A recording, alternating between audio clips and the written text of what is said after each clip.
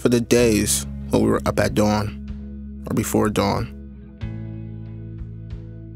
For when we push ourselves to learn calculus, biology, poetry. For the championships, the performances, the competitions.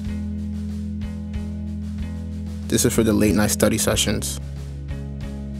For our moms and dads and grandparents. Our brothers and sisters. This is for everyone who loved us, who taught us and inspired us, held our hand when we stumbled, had our backs when we rose.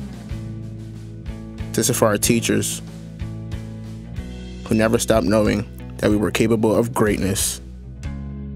This is for our dreams of becoming architects, executives, senators, artists. This is for our community, for those who came before us. And this is for all those who deserved but didn't get these chances.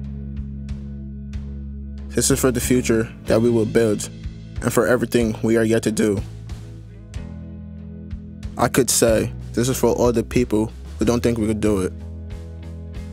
But instead, I say this is for us who have always known we will.